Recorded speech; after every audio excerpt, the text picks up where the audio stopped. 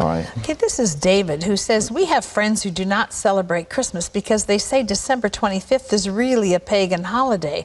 While I agree that Jesus may not have been born on December 25th, he certainly was born as described in the Bible. How do I respond to them?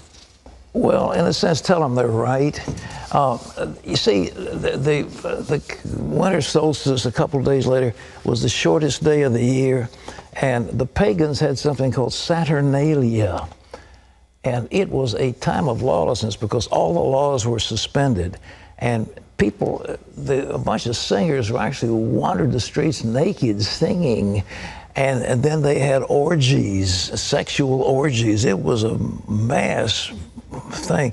Well, when the Catholic Church came along in Italy, the, the Romans and others didn't want to give up their holidays, so they said, okay, we'll Christianize it. And uh, so they said, okay, we'll say the birth of Jesus was the 25th of December. To say it's the 25th, shepherds were out abiding in the field. It gets a little cold at night. I mean, were they out there in the middle of winter? Uh, you know, I don't know. I've been out there on the shepherd's field and on Christmas Eve. It's very nice, but it's cold. And nevertheless, I mean, what was going on?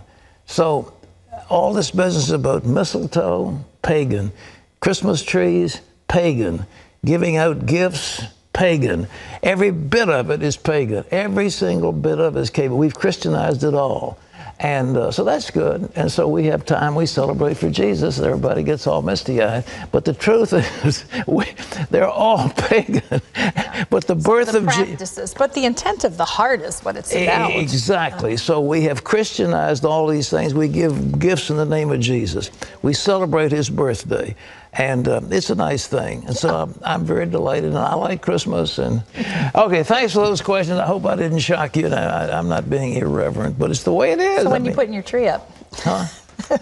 I've got, you know, I finally got one of those fake trees, and it's beautiful. It's already pre-lit, and you just plug those little joints in, stick it up, and plug them in, and all of a sudden you've, you've got a riot of light. I like all the decorations. The Founder's Inn is just loaded with decorations. It's very pretty but pagan. but all to celebrate Jesus. Yeah, but, but, but Christianized pagan. All right.